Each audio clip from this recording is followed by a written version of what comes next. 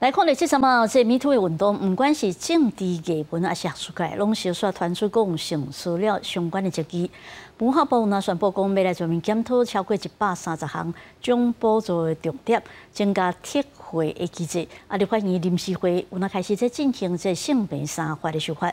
行政院长陈建仁今天有那交流欢迎进行专案报告甲备询。那在公开演出教学过程，更容易因为界限模糊而受有心人士冒犯。点出舞蹈工作者可能遭遇的性病困境，迷途的议题刷咧弹开，不少艺文工作者防指控讲利用关系性骚扰、性侵害。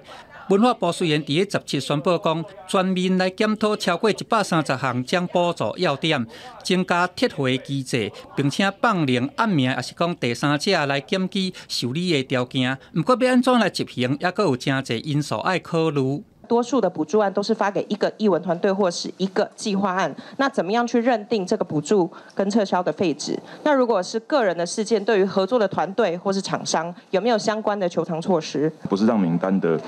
认定你要放在定验，还是放在这个当事人承认？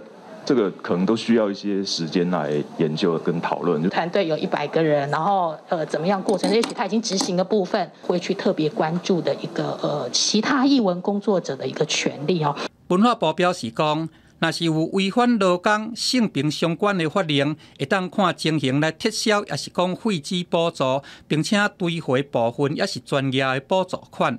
目前相关的讨论还搁咧进行，会甲各方的意见做整理，并且伫个最近立法院有来着手性别三法修法，劳工团体嘛点出现行法规的漏坑。空服员到了境外，他其实现在的行政法法是没有办法罚境外的法则，希望让过去没有办法受到保障的这些人，可以一起纳入这个嗯性别三法的这个保护里面。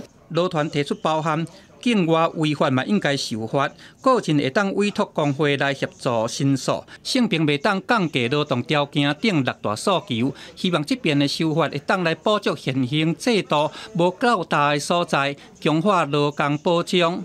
记者综合报道。